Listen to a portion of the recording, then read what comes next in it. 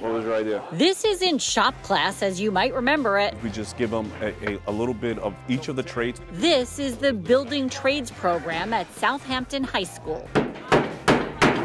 The curriculum hits on masonry, plumbing, electrical, painting, and carpentry, and is open to students in grades 9 through 12.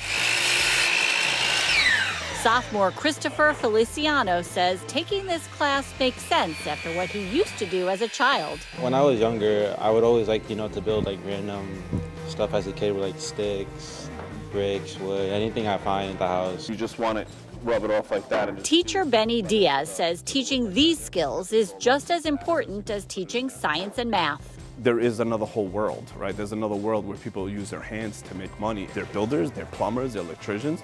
So it's very important that the schools start focusing more on getting students in that direction also. Senior Luke Profera wants to go into robotics and says he thought this class would give him the basics before heading off to college. Definitely learning how to design.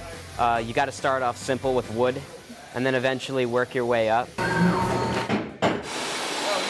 Students are schooled on all of the tools they might come across while out on a job. Second year building trade students work in an apprenticeship program where they actually do jobs for clients here at the high school. They're currently building closets at the request of a social worker here in the Wellness Center.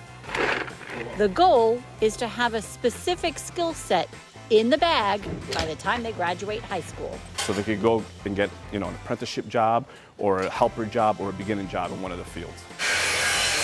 In Southampton, I'm Shari Einhorn for Newsday TV.